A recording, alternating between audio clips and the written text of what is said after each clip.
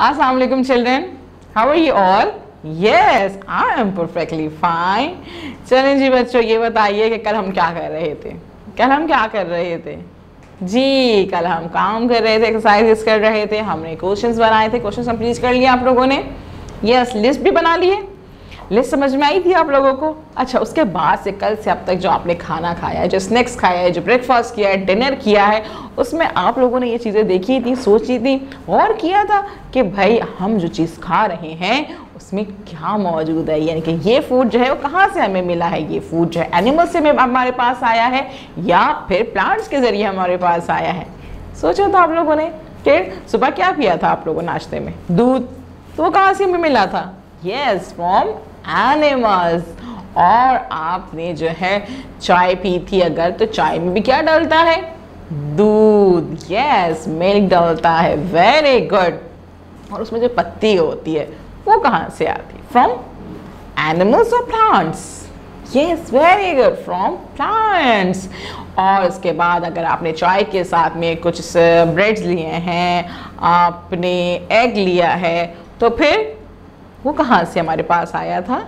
Yes very nice animals यानी कि अब आपने दोपहर में लंच किया तो लंच में आपने अगर राइस खाए हैं तो राइस और दाल चावल अगर आपके पास हो गए तो ग्रेन्स कहाँ से आते हैं? फ्रॉम प्लांट्स वेरी गुड और इसके ज़रिए फिर आप शाम में और रात में डिनर किया, फिर आप इस चीज़ को आपने अब रोज़ाना जो है लिस्ट डाउन करना है, सोचना है डिस्कस करना है पेरेंट्स को बताना है, अपने फ्रेंड्स को डिस्कस करना है, ताकि उन्हें पता चले कि भाई आपको तो इतनी अच्छी सी चीज़ें आती हैं, सब कुछ पता है है ना भाई?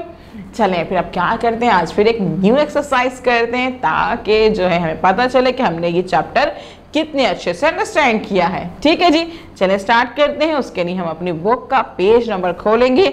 34 yes open your page number 34 और उस पर हम देखेंगे हमारे पास एक्सरसाइज मौजूद है। रीटेल टॉपिक रीटेल टॉपिक क्या होता है भाई? Read a number in correct order यानी कि हमें हमारे पास जो है वो चैप्टर्स की जो है कुछ सेंटेंसेस हमें दिए जाते हैं, लेकिन वो जंबल कर दिए जाते हैं। यस जंबल कर दिए जाते हैं, उनका ऑर्डर जो है वो, जी जंबल कर देते हैं। उसको डिसऑर्डर पे हमारे पास आ जाता है, उसको डिसऑर्डर कर देते हैं, और हमें उन्हें करेक्ट ऑर्डर में जो है वो नंबरिंग करनी होती है। अगर आप लोगों ने चैप्टर अच्छे से रीड किया है, समझा है अंडरस्टैंड किया है तो आपके लिए मुश्किल नहीं होती। आप इजीली जो है इसको नंबरिंग में कर सकते हैं, उसे ऑर्डर में ला सकते हैं। लेकिन अगर आपने वीडियोस बार बार नहीं देखी हैं रीडिंग नहीं की है अच्छे से समझा नहीं है तो आपके लिए थोड़ी सी मुश्किल हो सकती है। इसीलिए कहते हैं कि सारी वीडियोस को बार बार रिपीटेडली आपने देखना है। सही है जी? चलें जी, देखते हैं कि हमारे पास एक्सरसाइज मौजूद है, उसमें जो सेंटेंसेस हमें दिए हैं, वो किस ऑर्डर में मौजूद हैं। ठीक है जी? हमारे पास यहाँ पे रिटेल टॉपिक में फ़र्स्ट सेंटेंस हमारे पास लिखा हुआ है वी बाउट मीट ठीक है जी वी बाउट मीट आ गया सेकंड पे हमारे पास आ गया। First we went to the fruits and vegetable market yes first we went to the fruits and vegetable market और थर्ड हमारे पास लिखा हुआ है they make our bones and teeth strong yes they make our bones and teeth strong इसके बाद हमारे पास लास्ट सेंटेंस लिखा हुआ है we bought some eggs we bought some eggs हाँ अब हमने इसकी नंबरिंग करनी है। तो सबसे पहले क्या हुआ था नंबरिंग में? ये सबसे पहले चैप्टर में क्या हुआ था भाई?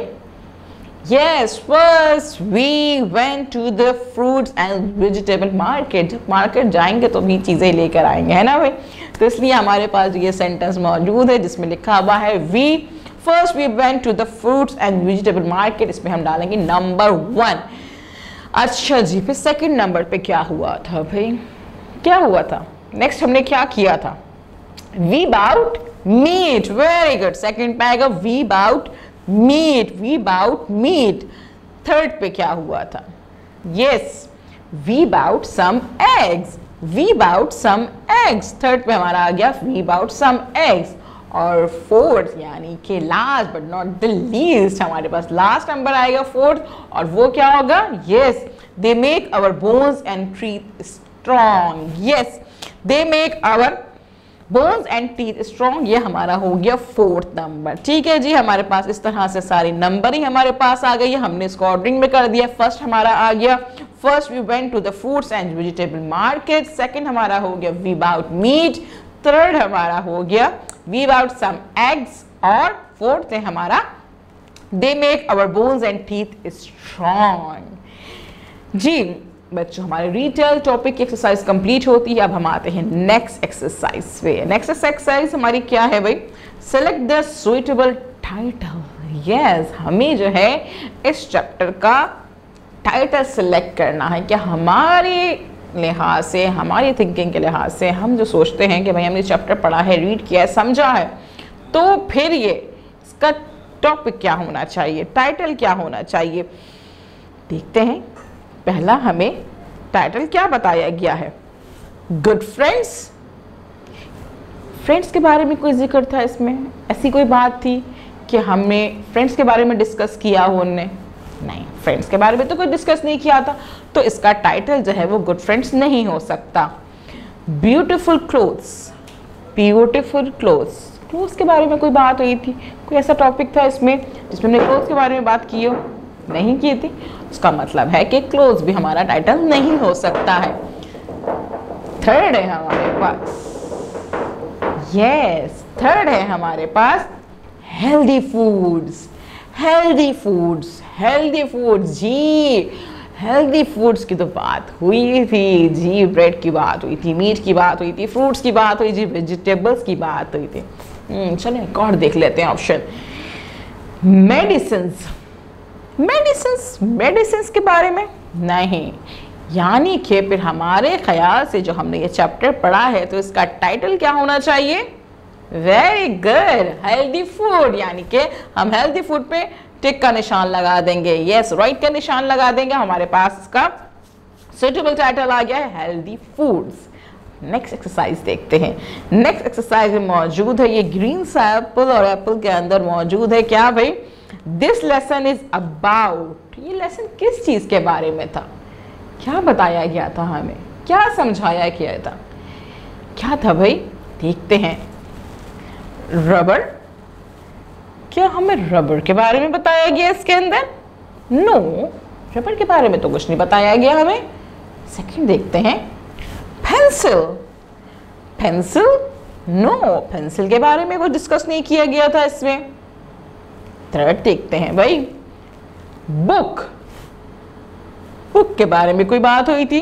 कोई टॉपिक हमारा ऐसा था इसमें? नहीं। फोर्थ देखते हैं भाई। फ़ूड यस फ़ूड के बारे में बात हुई थी। फ़ूड का टॉपिक डिस्कस हुआ था। उसको हमने बहुत ही अच्छे तरीके से डिस्कस किया था, समझा था अंडरस्टैंड किया था। यस इसका मतलब है कि this lesson is about food very good यानी कि हमारे पास आ गया सुइटेबल टाइटल हेल्दी फूड्स और हमारे पास दिस लेसन इज़ अबाउट में टाइटल आ गया है फ़ूड हमें फ़ूड के बारे में बताया गया है। अच्छा जी, अब हमने क्या करना है? हमने इस वीडियो को बार बार देखना है बार बार देखना है। रिपीटेडली इस वीडियो को देखेंगे ताकि हमें अच्छे से समझ में आ जाए, सारी एक्सरसाइज हम अंडरस्टैंड कर लें और उसके बाद आपने ये काम कंप्लीट करना है। जब टीचर आपको कॉल करेंगी तो आप उनको बताएँगे कि आज हमने जो है वो रिटेल टॉपिक की एक्सरसाइज की है, हमने जो है लेसन के बारे में बात की है, हमने टॉपिक के बारे में बात की है और अपने इस काम की पिक्चर अपनी टीचर को सेंड कर देंगे। कल हम मिलेंगे नए काम के साथ, अल्लाह हाफिज़।